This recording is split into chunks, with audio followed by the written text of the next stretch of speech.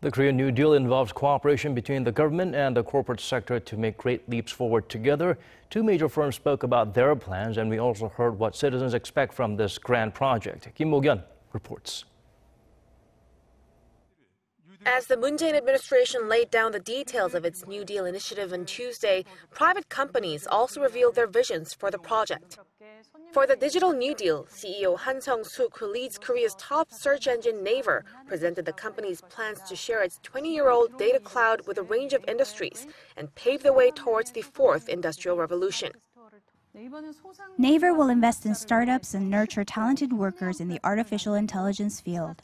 Based on our data pool, we will also create innovative financial services for small business owners and the newly employed.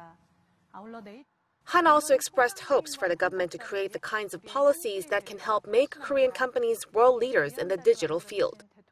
For the Green New Deal, Hyundai Motors Executive Vice Chairman Chung Eui-sun introduced the carmaker's vision to become a leader in electric cars by selling 1 million units and growing its market share to more than 10% by 2025. The Green New Deal is an important future-oriented business policy. Hyundai Motors will strive to become a world-class eco-friendly company, especially when it comes to electric cars and hydrogen-powered cars.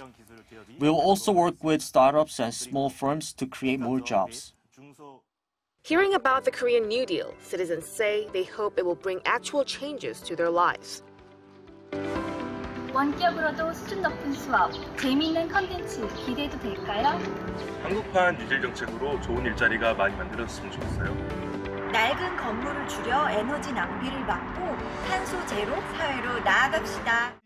Together with the private sector and the public, the Moon administration hopes the New Deal will not only prepare the country for the post-coronavirus era, but also make South Korea a country that advances through the next century by creating new jobs and fostering economic growth. Kim Mok-yeon, Arirang News.